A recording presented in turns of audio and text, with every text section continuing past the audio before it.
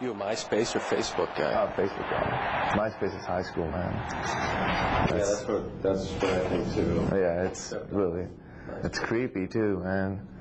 I uh, I had one for a long time. I had to delete it because uh, it was getting pretty weird. Really? Yeah, just people asking me stupid questions and stuff.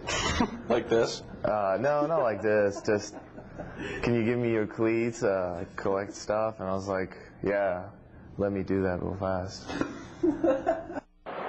What's the weirdest pronunciation you've ever heard of your name? Um, a lot of people come up to me and they're like, Audi like the car? I'm like, no, it's not like the car. It's three letters and it's Adi, it's not Audi. And uh, that's, uh, I'll get that a lot. And I'll just be like, no, it, you know, it's not that hard to say, to say Adi, you know. It's just three letters. What about your last name? My last name, I've gotten all kinds of stuff, you know, Kanalik, Kunalik, uh, Kunalik. I'll tell you, I've seen Kun- I've set Kunalik. Yeah. I'm, I'm sorry. Yeah, that's fine. No, that's fine. If you don't know anybody, I mean, you can't do nothing about it.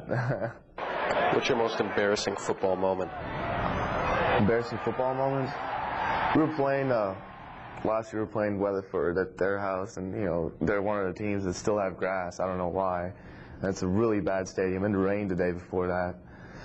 You can, you can probably tell where I'm going with this, but um, you know, go out there to kick a 40-some yard field goal, and uh, and I totally Charlie Brown the kick. I mean, I slipped, and I was on my back within like a second. You know, the ball got maybe like three feet high in the air, hit one of the linemen in the back.